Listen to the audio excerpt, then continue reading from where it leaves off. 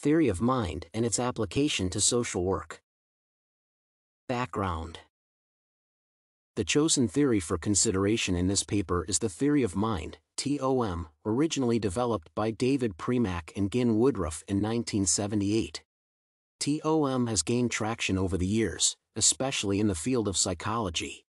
Psychologists rely on this theory to assess an individual's degree of capacity for empathy and understanding of others. TOM has proven effective when it comes to solving conflicts and enhancing social skills. Therefore, this paper seeks to give an overview of the theory of mind as discussed by different scholars, how it is being applied, and, by extension, to social work as a profession.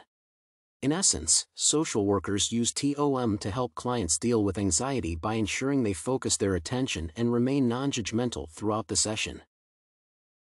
Overview of the chosen theory the theory of mind exists to help people understand and view others as unique beings with beliefs and desires different from their own.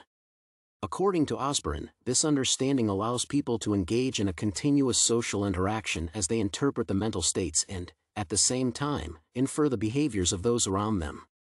The theory has been studied and researched by different scholars over the years. In the field of psychology, for instance, the focus has been on studying the neural basis, developmental pathway, and the limitations of TOM. Scholars have also focused more of their attention on how the theory of mind develops. For instance, Mirski and Arkadiusz's study of TOM led them to conclude that people are not born with the same knowledge.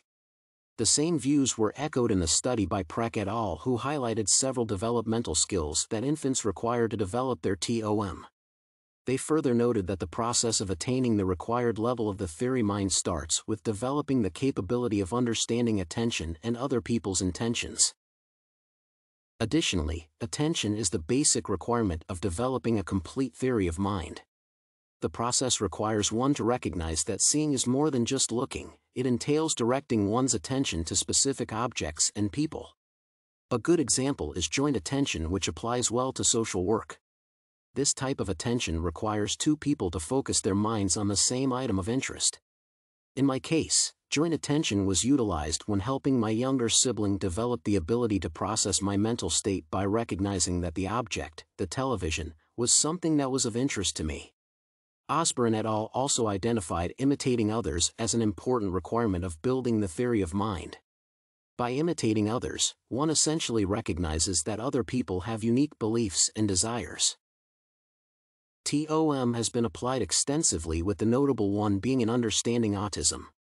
According to research, it helps people understand that children and adults with autism find it difficult to second-guess others' motivations, intentions, or hidden agendas. However, this does not mean that such individuals lack empathy. Similarly, autistic people, according to TOM, encounter difficulties when reading body language and subtle facial expressions. For instance, it is hard for such individuals to detect whether raised eyebrows are signs of surprise or disapproval. In the end, autistic people will most likely misinterpret others' motivations or desires. Another example of how this theory is being applied is the use of the false belief task method which is commonly used by psychologists.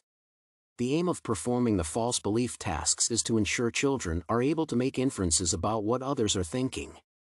Simply put, children may perceive or believe something is true but they need to understand that others may not be privy to this truth. One of the most frequently used false belief tasks is the Sally-Anne test, which measures a person's cognitive capability to infer false beliefs from others. This test involves showing children two dolls, Sally and Anne. Sally is seen placing an item in the basket and immediately leaves the house. And then comes in and takes the marble and places it in a box. The children watching the scenario are then asked to state the place that Sally will most likely go looking for the item. The goal for the test is to allow the children to assume Sally's position but, at the same time, understand that her reasoning differs greatly from their own. Application to social work profession Theory of mind plays a critical role in the social work profession, especially when helping clients deal with anxiety.